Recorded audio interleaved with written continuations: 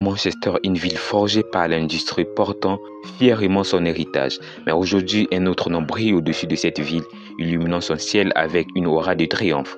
C'est un soir de gloire, un moment où le rêve devient réalité. Une équipe de guerriers du football connue sous le nom de Manchester City a conquis les sommets de l'Europe. Ils ont inscrit leur nom en lettres d'or dans l'histoire du jeu. C'était une aventure remplie de défis où chaque match était un test de courage et de résilience. Leur chemin vers la gloire était pavé d'obstacles, mais ils ont surmonté chaque épreuve avec une détermination inébranlable. Des soirées électriques à l'Estade Stadium ou batailles épiques sur des terres lointaines, ces héros modernes ont fait face à des adversaires